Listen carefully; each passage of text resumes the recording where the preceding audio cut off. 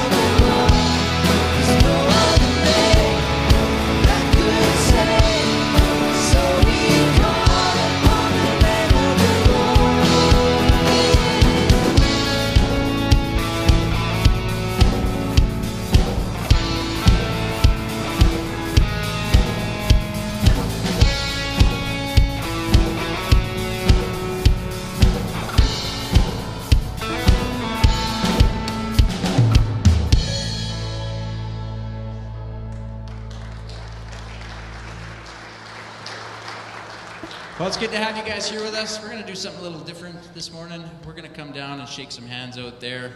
These guys are going to get some music cranked up for us. We want to meet you, so go around and greet one another. We're going to come down and meet you as well.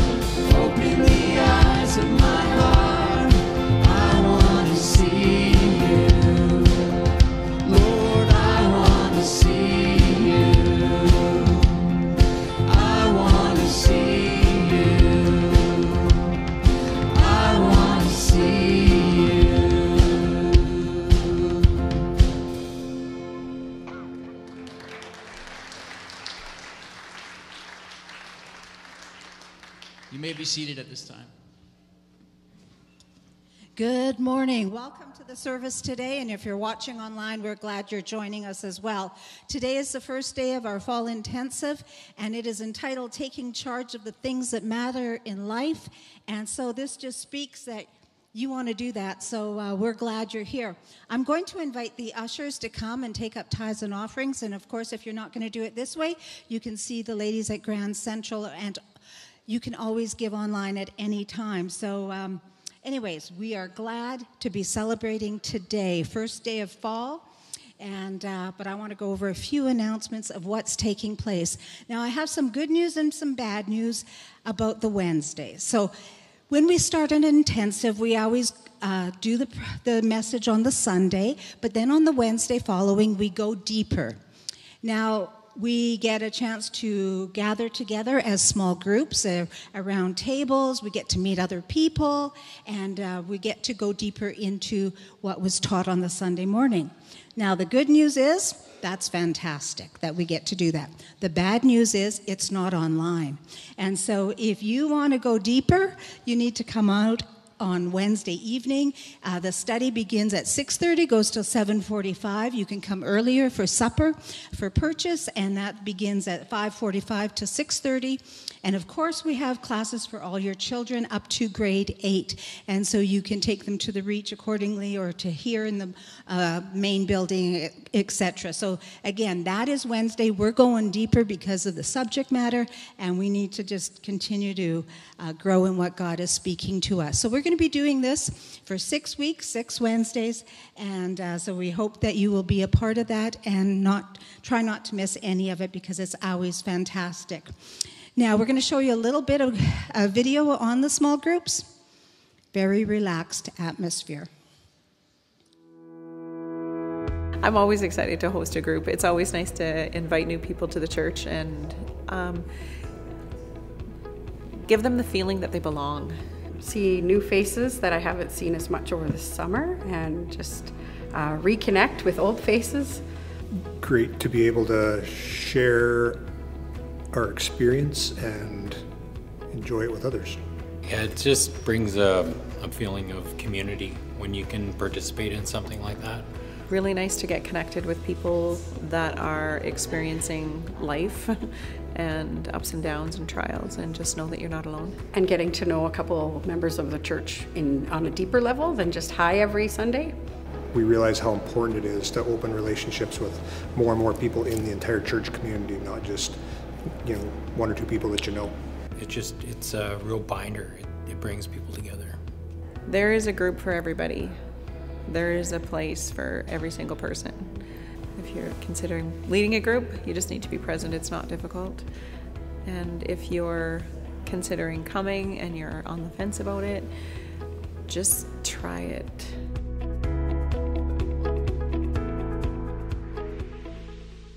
We're going to go on to, I want to let you know that what's taking place in November, we have Will Graham, who is gra- uh, grandson to Billy Graham, and he is coming to our Peace Country, and he is going to be speaking on two nights, the November 8th and November 9th at the Bonnet Center. And uh, this is a big event that we are um, just spreading throughout all the churches, um, like Fort Mc not Fort McMurray, Fort St. John, uh, just all in the north, etc. And people are making this an event to bring people to and invite people to that do not know Jesus Christ. And so I say that to stay.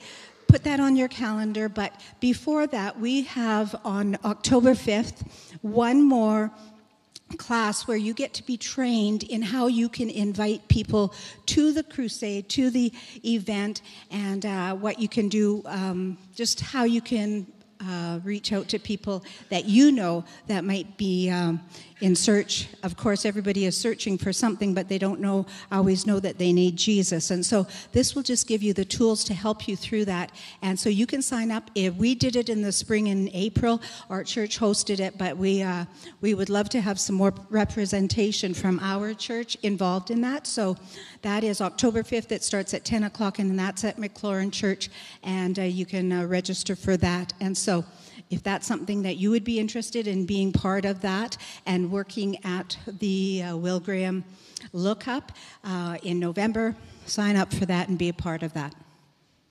Does that characterize your life right now? You're desperate? Are you at the place where you want to give up? And you really wonder, is there a God? Is there a God that really cares about me? My friends, there is a God, and He does care about you. God sees it. He knows everything that's going on. He knows what you're worrying about. He knows what you're laughing about. He knows everything about you. He doesn't turn a blind eye to it.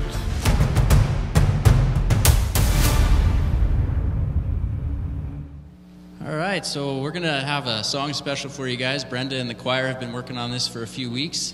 So we hope that you guys enjoy it. It's a rendition of the song Because He Lives.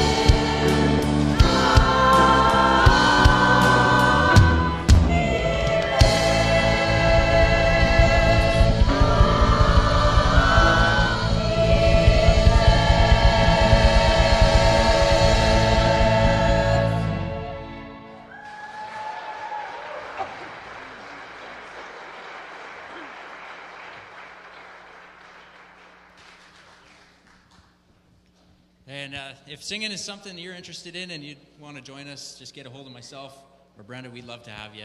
It's a lot of fun, and uh, you get to meet some new people. So you're, you're more than welcome. Uh, let's stand together, and we're going to continue singing.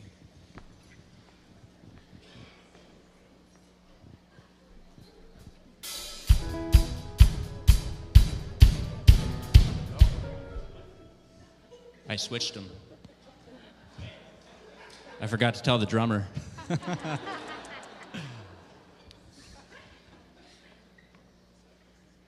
I just like messing with you.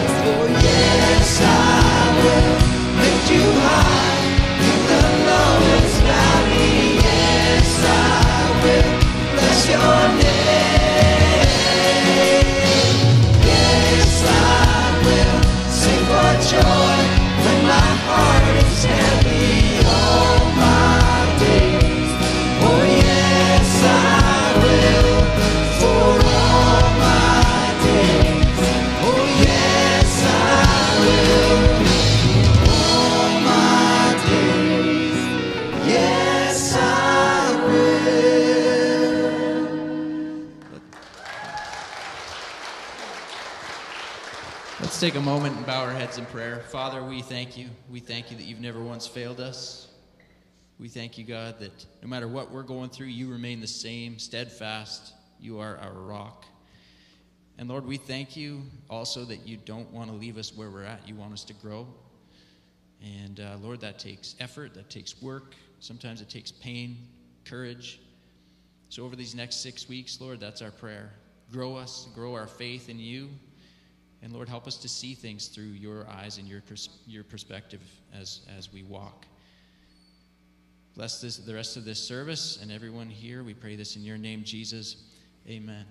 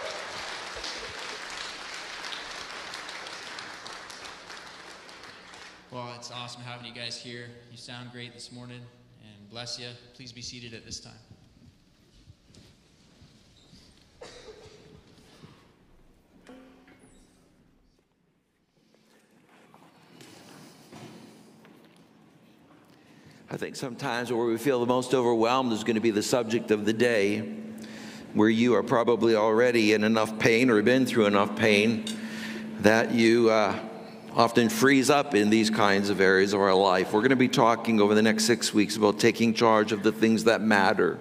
I think you would agree that not everything matters of equal importance within life. There are certain things that rise above other things. And so, throughout this next six weeks, and also on Wednesdays, doubling up, on which we will be going into more of the real practical tools that you can use. And uh, don't miss Wednesdays. So, the first trails we're going to go down is going to be three. The first one is relationships. How do we build quality into our relationships? This is an area where, as I said, you're already probably in some pain, maybe some great degrees of pain. It might be sort of that underlying and slow burn, like a peat fire that you'll see even in our country. I know southern Manitoba, they've got these peat fires that go on, and you see smoke rising up. And it's just because years and years and years ago there was a fire, went underground, and it still smolders and still goes. There's all different forms of this kind of pain and hurt, and that builds into things like our anger levels, our fear levels. We're going to talk about those things. We're going to talk about a word, especially this Wednesday, about how do you achieve safety in relationships. Safety is a key word, it is a fundamental word that either releases you to draw close to other people, or if you don't feel safe, you definitely pull away. Uh, we tend to look at it through personality lens, but it's, that's the, not the way to look at safety. Not even the like lens that you like this person.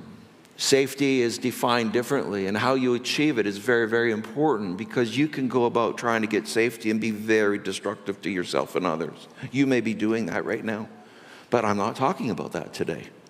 But I do want to talk about some things that are really important as an introduction in relationships. It's what it's the quality of your own life, of your own understanding and control of your strengths and your response to your weaknesses. That really, can I say, put you in the right position so that you are able to be strong in relationships and persevere the times you need to persevere and really enjoy the times that are a little bit easier a little bit more on the upside of things. Either way, relationships will take you through everything in life. You're going to go through, as Scott Peck talked about, you're going to go through tunnels of chaos.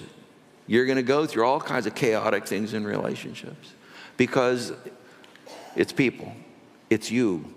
And that ends up creating an environment where if we do not have the right tools, if we do not have the right positioning within ourselves, then frankly, we're not going to do so well in relationships. Now, today, loneliness is chronic. There's reasons for that. Cultural changes, but those cultural changes come as sometimes we would have to look at it as a result of decisions rather than just the change in our culture. We change our culture. So we must have changed for the culture to change. There's certain things that we hold to and things that we didn't uh, hold to. So let's talk about taking charge of things that matter first the power center of relational health. And the power center to relational health is basically what you are, are becoming and how you respond and react. Those two words are critical things when it comes to understanding uh, what tears down relationships or what builds them up. So let's talk about the key to happiness in our relationships. Look what it says in Matthew 5 5. Blessed are the meek, for they will inherit the earth. This is not a nice term in most of our languages. We tend to not understand meekness or the word blessed in this particular uh, usage. It basically, its strongest interpretation would be happy are those Happy are those. Happy are the meek. If you think meek is weakness, then how in the world can you be happy? Meekness is not weakness. Let's start really, really clear with this so we have a good understanding of what meekness really is. Meekness is something far greater than just that. Now, this is the only beatitude out of eight of them that Jesus didn't just originate within that teaching. He's quoting the Old Testament here. And he quotes Psalm 37 11 in this beatitude. But the meek shall inherit the earth and shall delight themselves in the abundance of peace. peace.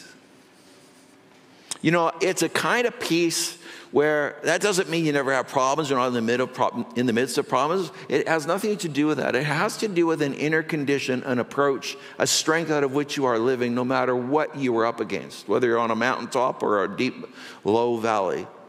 This kind of peace is referencing a spiritual condition which is guiding and leading your life. It is a source, a resource in your life. This is a key to relationships. Meekness, which results in this kind of peace. More or less, you're always working for the strength of things. You're not slipping into the tear down mode. You're not going into trails where it's destructive to you or to others. The meek shall inherit the earth. Happy are the meek. Happy are the meek. So, what is meekness? Let's talk a little bit about it. Meekness cannot be translated by any single English word. You can't take one English word and put it next to weakness and then you got it. It means things like this gentle, humble, forgiving, teachable, under control, etc., etc. A lot of words are required for us to understand the many dynamics of meekness. Aristotle put it this way he said, power under control. He said, meekness is power under control. More or less, you can't say it's weakness, it is power that is under control. By the way, power under control has is when it reaches its full potentials of good. When you have power and you have it under control, you can use that power for good. When you don't have control of power, you don't have it under control, you can become a great agent of destruction. You may be a great critical thinker and a great arguer, and through that strength, destroy a marriage or destroy a friendship. Because the fight's more important to you than the outcome. Because your meekness is not in place. But if you have a heart that leans toward meekness and is learning the, the controls that meekness will bring over your strengths, then your power goes into a category of being used for good. Meekness is also the happy medium between the extremes of reckless anger and total passivity. This is where people often, you know, look at look at that and they think, well, uh, meekness is not being angry. Well, that would be completely wrong. But meekness is not having reckless anger, endangerment of yourself and others. Meekness is able to be angry. The Bible even commands us be angry and don't sin. Anger is an emotion that is, has really great merit and need.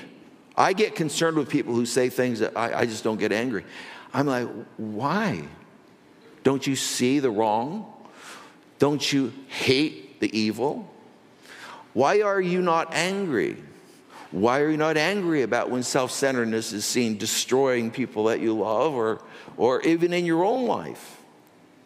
Anger is not your enemy, but it needs to be under the control of meekness and also passivity. This is one I think that scares us the most. It's sort of like I have to be this little weak agent of my opinions or back my opinions right up, or, or I don't have to, you know, I, am not supposed to take strong conviction stands, and, or that might offend somebody in the room. Has nothing to do with that. In fact, if you're passive like that, you are not meek. You are weak. You are weak. Because you are playing to people, you're playing fear of people. And that bars you from building relationship. See, when we talk about meekness, it's finding that middle road between those things, the balanced way to deal with anger, a balanced way to deal with passivity and not become that passive person. I've seen people try to be meek and they always go quiet and they always go kind of withdrawn. And they want to call that meekness. You might be the furthest thing from meek because all you're doing is you're becoming passive so that you don't have to have any emotional upset or even experience any anger. You'll just keep it underground. How good is that for the relational life? Underground stuff is the stuff that does the great damage in relationships. This is why when you see people who are not emotionally honest with, with what they're going through, it kind of concerns you and you wonder what's going on. they're misinterpreting what meekness is. When somebody won't challenge an opinion or you can't enter a conversation about difficult matters with because they're going to become so passive and withdrawn, you know, if I bring this up, they're just going to shut up. They're just going to withdraw. They're going to go hide. How in the world can you communicate or converse towards actual solutions, even identifying real problems? It takes the kind of exchanges that are built in honesty and controlled by meekness. Meekness is an amazing quality for happiness because it says, Happy are those, happy are the meek, for they will inherit the earth. Now, what does that mean? It's not talking about someday, you know, after the second coming or whatever. It's talking about right now. You will inherit the earth, meaning this that what God intended life to be like here on this planet for us, you will be inheriting that life. That life that's directed, as we read in Psalm, by peace. Something within us that is able to lead us through anger, to keep us involved with the real world and not just shut up and go away, that keep us engaged in the things that build relationship and move towards people with love. When it comes to these things, it, we discover that there's three basic ways that we can deal with people in our life. There's three paths that you're basically going to go down. One, you can relate to them in fear. Fear is a very great negative. It causes you to be defensive.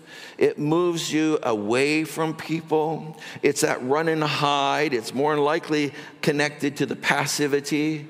You may be one that explodes and then goes passive. You know, all of these different ways that we react is largely because of fear. Fear, when it is a, a part of relationship building, destroys health because meekness cannot be found in fear. Fear is the kind of thing where you cannot move closer to somebody, it constantly pushes you away. It's Adam and Eve in the garden hiding on God. Where are you? Why are you hiding? What have you done? It's moving away from Him, it's moving away from people you love. Fear, the fear of rejection, huge fear. Fear of failures, but fear of rejection is, is this I don't feel safe. I come back to that word, which we're going to talk about because I want to talk on Wednesday about the things you're, that you're not doing, and they create this thing in your life that gets very difficult to break out of. But I want to show you how you what it is and how to break out of it. Many of you are lonely because of this thing. Because this is where you are running away in fear. And when you run away in fear, you end up in the place we're going to talk about on Wednesday. Second, we can relate to them in anger, which moves us against them. The other causes us to run and hide, the other moves us against them. And so, if we're going to really get serious about relational health and we're going to really do it differently, meekness is the quality that must deal with anger. If anger is not controlled by meekness, you will go against in the wrong way. You will attack, you will diminish, you will demean, you will do whatever it takes to win because it becomes absolutely competitive. And when things become competitive, then there's a winner and there's a loser.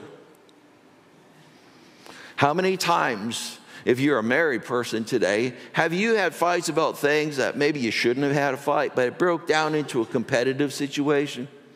So you had to win. Meekness is absent from those kinds of exchanges. The next is we can relate to them in love. We can come together with them in love because we come together with understanding of them and, and, and we're seeking to understand and not just present. We, we have a much more balanced approach. We're not way up here in anger and we're not way down here in fear. Instead, we're finding that middle ground where meekness lives. Here are five kinds of people you have to deal with in life.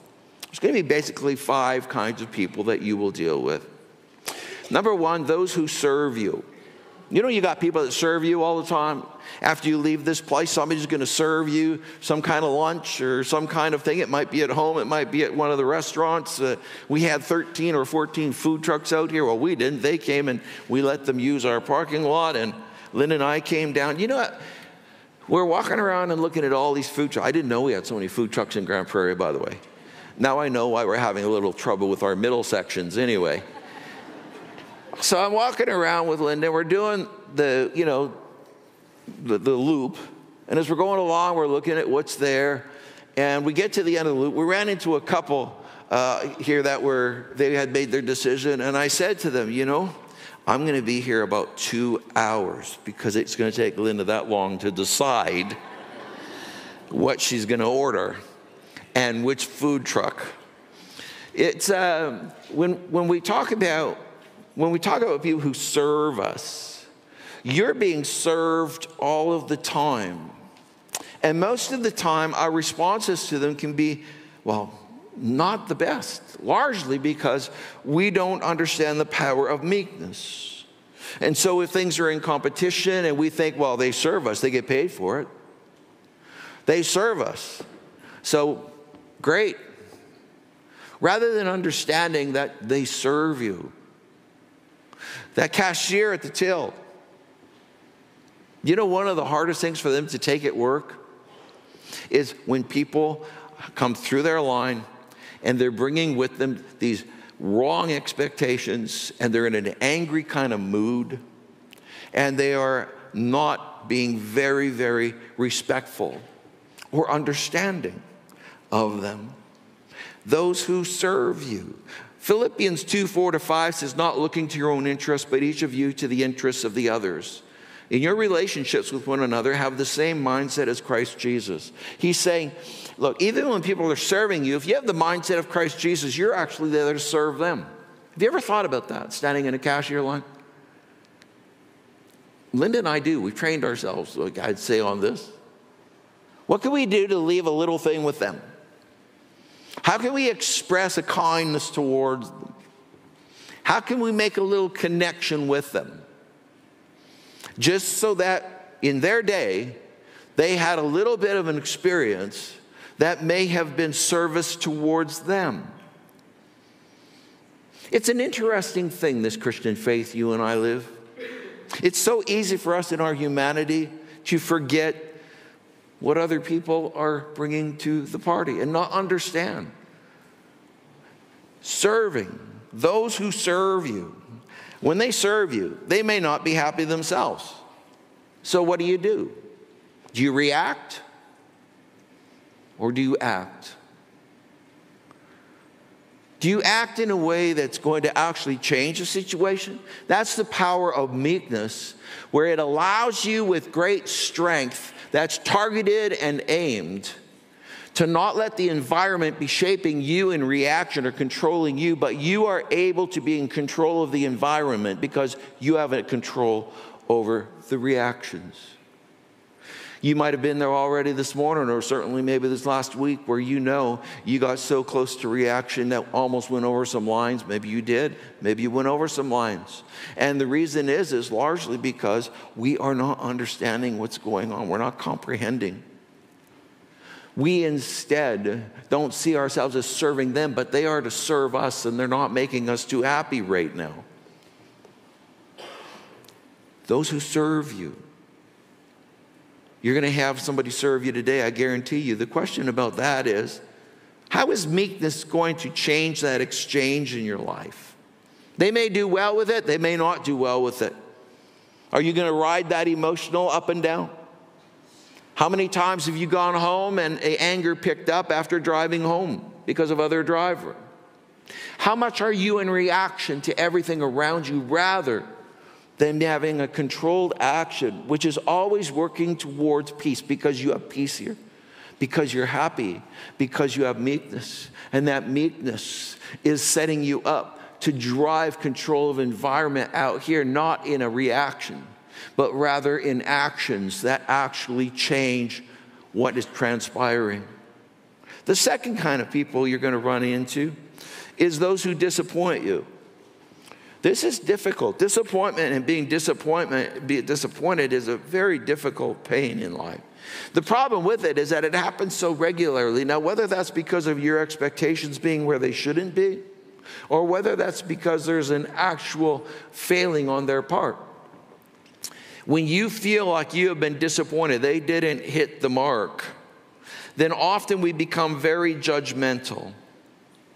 We move towards them in judgment. You let me down. You disappointed me. You didn't do this. You didn't do that. It's a form of hurt, but it's a specific form of hurt. It is every day. We feel disrespected. We feel like we haven't received that. Folks, I can tell you, this is life. You're going to get disappointed. Is there any parent here that has raised a kid to the age of at least 10 who has not been disappointed? Would you be proud and raise your hand? Your kid's not in the room. It's okay. How many here are married for longer than one minute and have not been disappointed? Disappointment is a product of existence. Largely, that's just the frame of human relationship. It never matches. Have you ever been disappointed in a teacher in your life? A disappointed in a boss in your life? Disappointed in a friend in your life? Disappointed? Just keep the list going, and of course you have been. But if you are a person that reacts simply because meekness is not in control, because meekness is not a quality that you have really built in, then you are being controlled by other people's actions and thoughts and determinations and by the standards that they set for themselves rather than meekness. The greatest freedom is the freedom for you to control your response, your reactions. You don't need to be in a position where what is happening is in charge of how you are going to respond or react. You have something deeper. That's where meekness. Happy are those, happy are the meek. Why? Because I'm not controlled by your, your, your, your, disappointing me. I'm not controlled by the way that you serve me or don't serve me. I, I'm, I'm in a place where that's not going to be in control of my peace.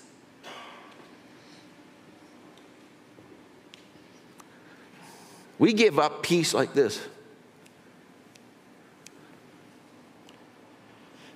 Galatians 6 1 says, Brothers and sisters, if someone is caught in a sin, you who live by the Spirit should restore that person gently.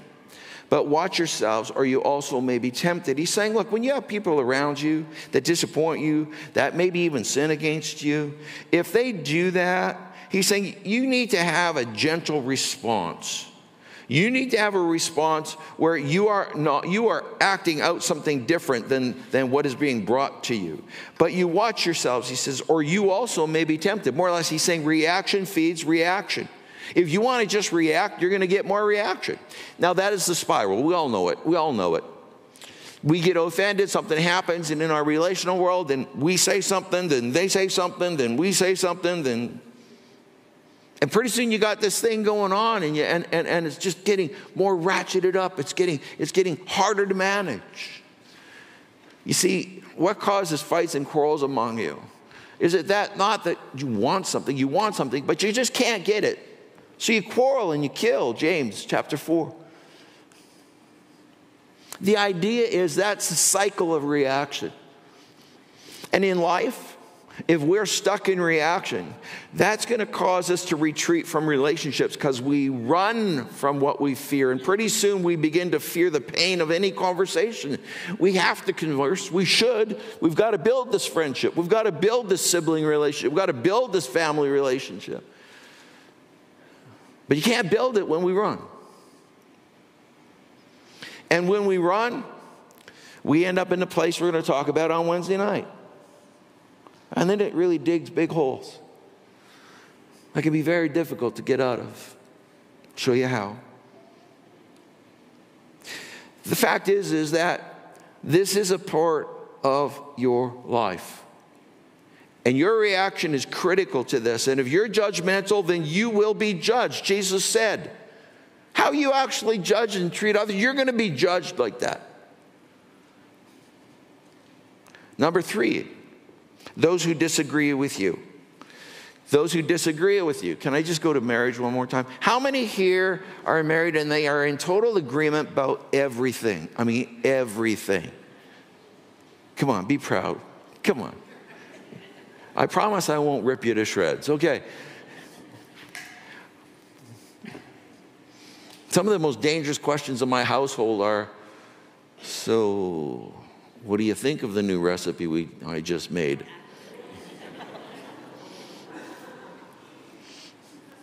How does this look on me? Really?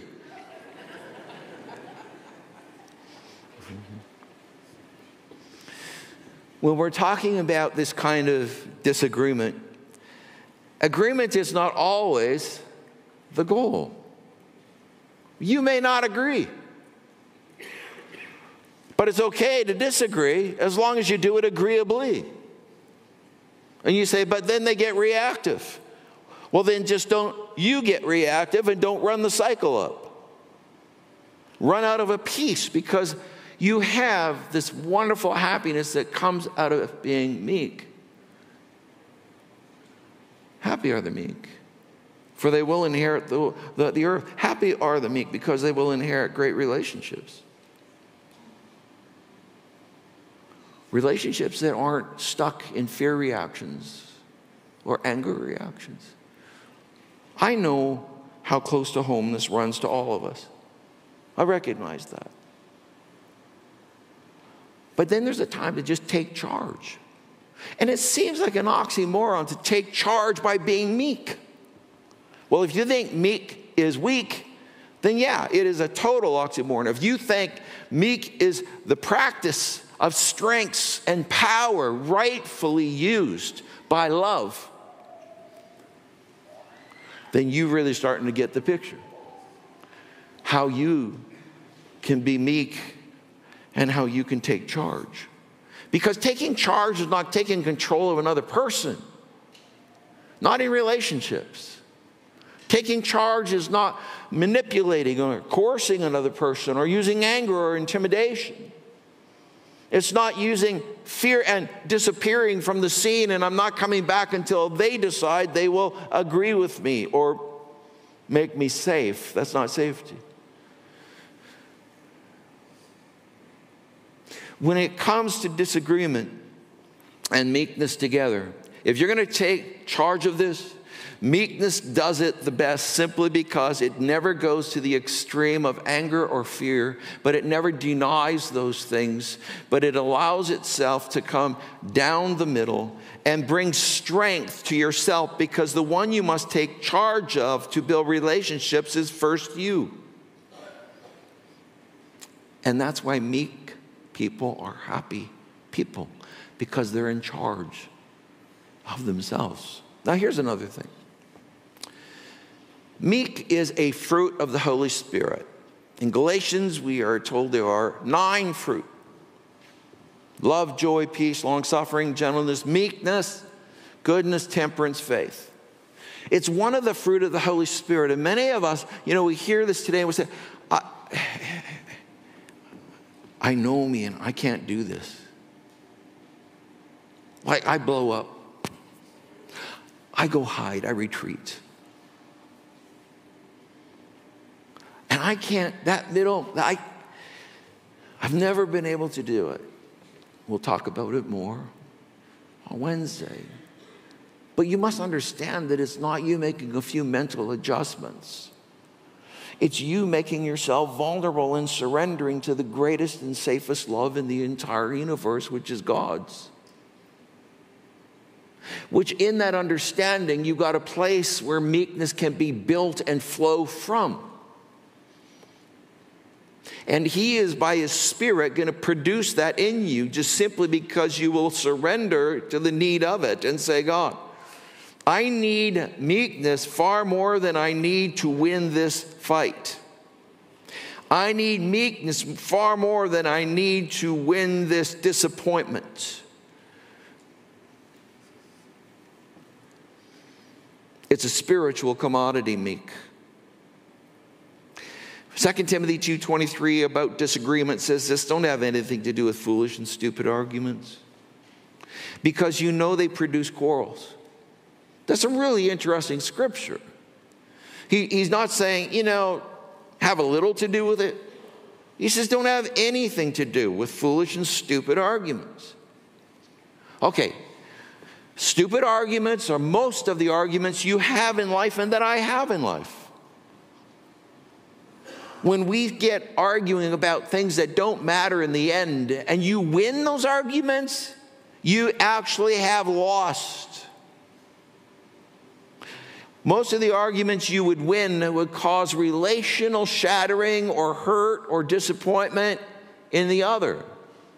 Do you feel a need to press the point to such a degree that they have to be in the kneeling surrender position because you have the greater skill of command of thought and the ability to make your points? What did you win?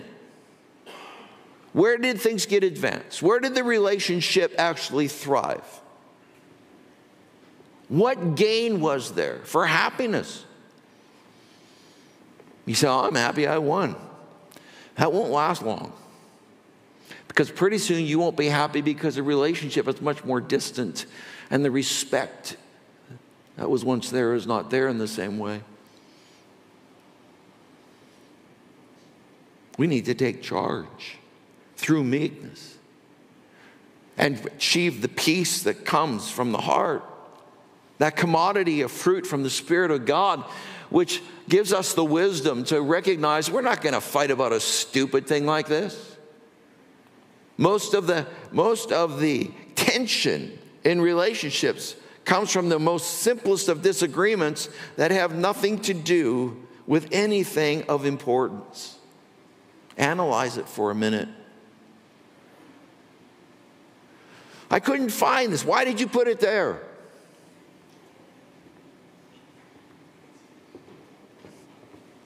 Why didn't you film me? Why didn't you?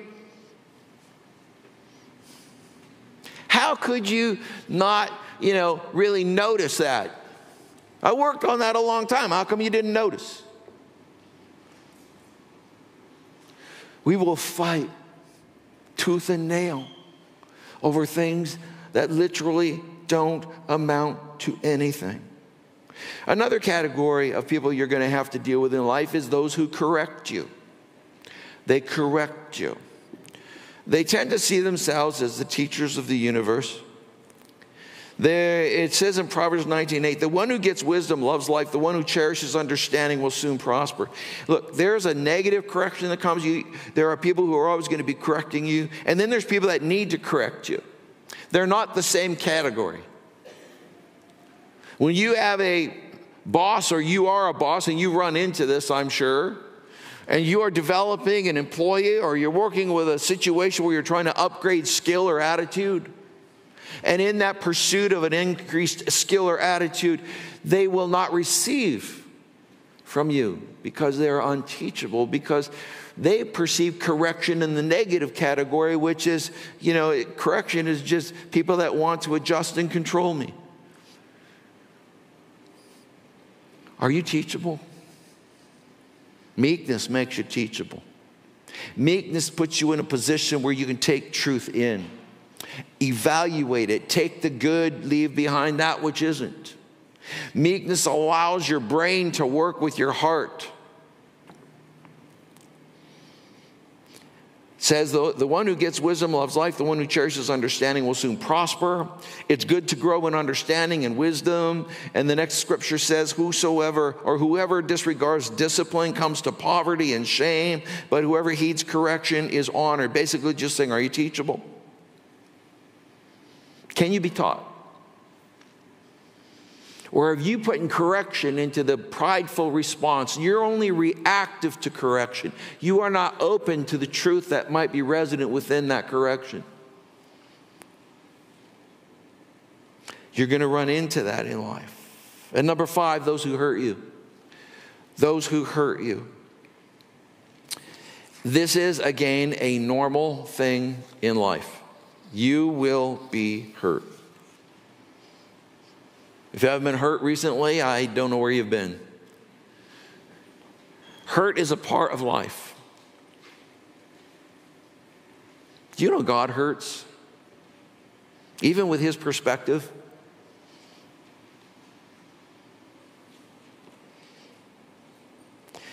The scripture, better a patient person than a warrior. Well, that's, that's an interesting comparison. Better a patient person, which patience would be another fruit of the Spirit, which is connected to meekness. Better a patient person than a warrior. One with better one with self-control than one who takes a city, like a military victory. So he's saying that it's a patient person and one with self control, that's better to have those qualities to be that kind of person than to be the person who's a successful warrior and takes a city. Because you're going to find if you're a successful warrior, you're going to have fought fights you shouldn't have had to fight. You're going to cause destruction and didn't need to destroy. And you're going to have undermined the potential for intimacy, which is where we find the deepest satisfaction in safe relationships, which we'll talk about on Wednesday.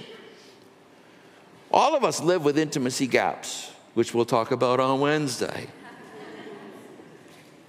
intimacy gaps are where you don't quite close the circle. You always end up with these relationships without closed circle. And in that, in that gap, we try many different ways. That's where fear and anger, the things that we've been talking about, prides, like to insert themselves so that that gap never really closes. So we never get the deepest satisfaction from our relationships. Safe. We don't feel safe. See, it's better to be a patient person and one with self control than one who is a warrior, one who takes a city. It's better to be a patient person and a person with self control than a person who wins at business and they can really take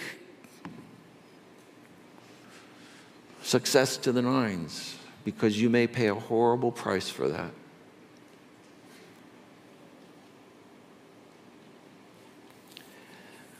Meek.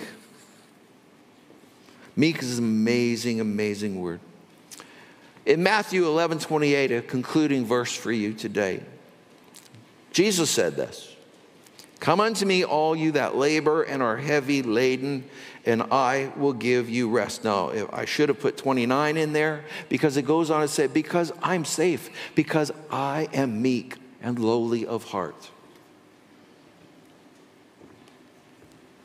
Jesus called himself meek. By the way, did you know there were only two people in the Bible who had meek as their defining quality? Jesus. The other one was Moses. Moses was a guy that had to go confront Pharaoh. He's 80 years old and he's going into a major fight. And he's going to be a person that he better have some meekness in him because otherwise he's not going to last through this time. Jesus is meek, we know that. So meekness is certainly not weakness. How could you take Moses and Jesus and say meekness is weakness? How could we possibly do that? These are the two strongest men that you could ever have met. Isn't it wonderful you can know the one so intimately? There's a woman caught in adultery, hauled through the streets. I don't know why the man wasn't, but the woman was. Hauled through the streets. She ends up before Jesus, thrown onto the ground with a group of angry men who confronted Jesus and said, The Moses law says this. We're supposed to take her out and stone her. What do you say? They wanted Jesus to collide with Moses, not understanding that the whole purpose of the law can only be fulfilled by one who is meek. They didn't know what meekness was, no idea what this is. They were judgmental. And Jesus responded to them and he said to them, If any of you doesn't have any sin, throw the first stone. Whoever of you is sinless here, throw the first stone. Go ahead, make it a big one. Throw it as hard as you can.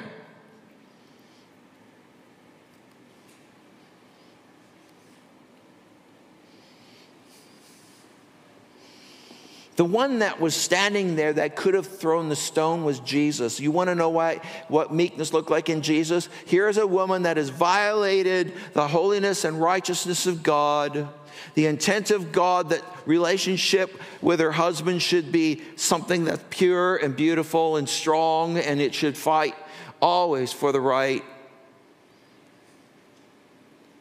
And instead, Jesus, in meekness, does not go to the side of the equation. He basically just brings them into her story and says, How is your story different? You who are so angry right now, how is your story different than this woman's?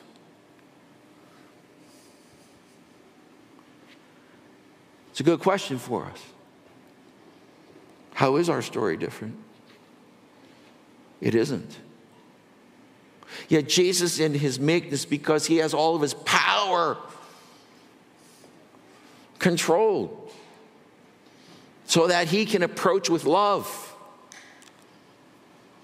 And the only thing he says to her is, Where are your accusers? Well, they've gone, Lord. Neither do I accuse you.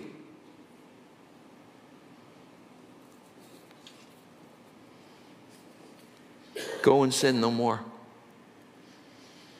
Go and pursue meekness. Go and pursue the strength to be somebody who, no matter how they're served, no matter who disappoints them, no matter how disagreeable the people are with them, no matter who tries to correct you, no matter who has hurt you. And she probably had a list for every one of those words, and that's why the excuses and uh, she would have for what she did. But now, it's not about having a perfect husband. It's not about having perfect things in your life. It's about your reaction. Your reaction. And there's only one thing that can control it it's meekness. If you're stuck in reaction in relationships, no matter what the flavor of that relationship is, meekness is your way. Meek. Strength not used to decimate, strength not used to win in a competitive way, strength used to uphold, to bring in and bring your burden. Because I'm weak, I'm lowly, I'm bring it. And I'll help you. You may be carrying a burden today coming directly out of relationships. It might be with a child, young child, middle aged child, grown child. You may be struggling in a relationship like marriage. You might be struggling in friendships. You might feel that no matter what you try, you can't seem to build that kind of intimacy, and your intimacy gap is really huge, and it frustrates you, and you only know how to run away. Look, wherever you're at, you are certainly not the first one there. We've all visited the same prisons. It's just some of us want to move out of that, and we do. And you can. And you can. You're going to have to be honest with God. You're going to have to be honest with yourself, and you're going to have to be honest with other people. God is absolutely safe. He loves you. It's not a love that can change. Yourself, you're going to have to be honest with yourself so that you have the ability for meekness to come because meekness is based on honesty, on these kinds of honesty. Towards others,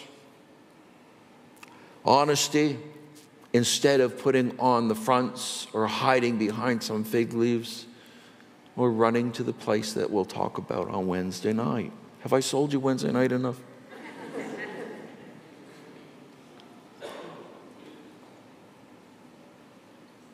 Either way, don't stay where you are. Let's stand together.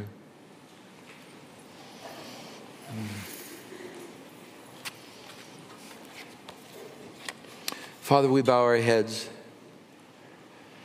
We don't understand meekness, Lord. It is a very complex thing. Well, but it's a fruit of your spirit.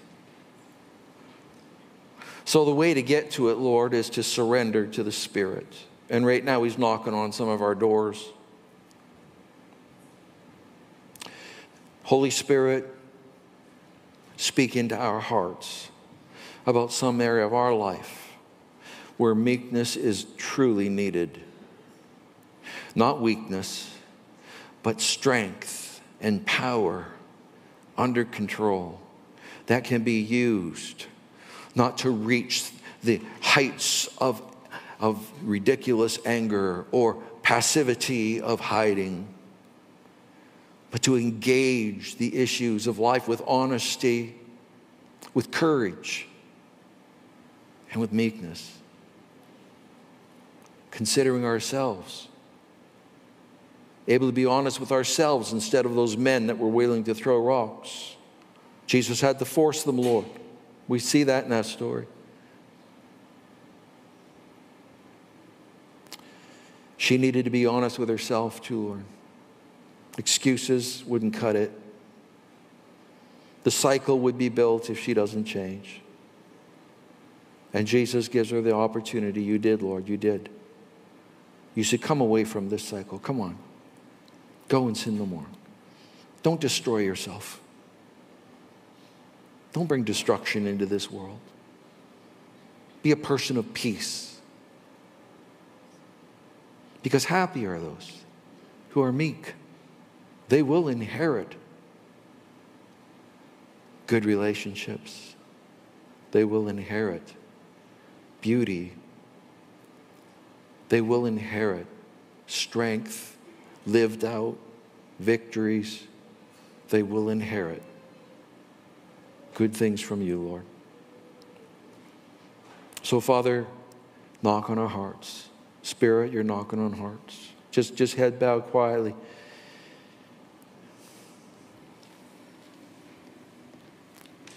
Every one of us walk these same trails. But there's a trail out. Make a firm choice and a firm decision to have meekness rule reaction rather than reaction rule meekness. Amen. Would you throw that up on the screen, please? Here is a statement, a question that I'd love you to buy into today. In fact, I'd like you to buy into it so much as to take a white card out of that's in your bulletin and to subscribe to that today. Here's your decision today.